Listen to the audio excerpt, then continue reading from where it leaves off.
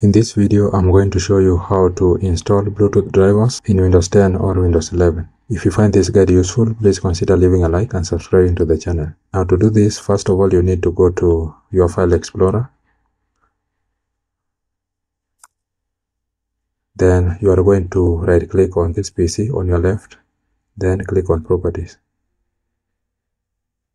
So here you are going to check uh, your system type operating system. As you can see, mine it is 64-bit operating system. So having known this, you are going now to close settings. Then you will go to Google Chrome.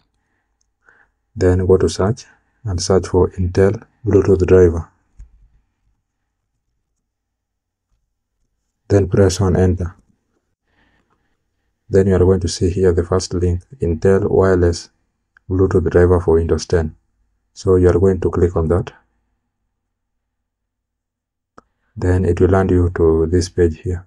So you will scroll down a little bit. Then you will see uh, available downloads here. So we have uh, this one bluetooth driver.exe so this is the one that we are going to download.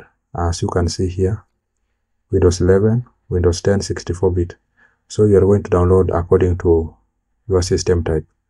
Just as we have seen earlier that mine is 64-bit operating system. So after I've known that you are going to click on download. Then you are going to read this uh, Intel software license and agreement. I had already read that so I'm just going to click on I accept the terms in the license agreement. Then the download will automatically begin.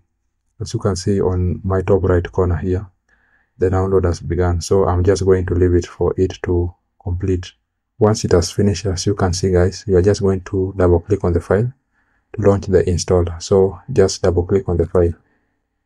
Then the security pop-up will appear on your screen. Just click on yes. Then you can now close this one. Then as you can see the installer has, has pop up on your screen. Then this will, wizard will check and download the requirement, the request for this installation. So you are just going to click on next.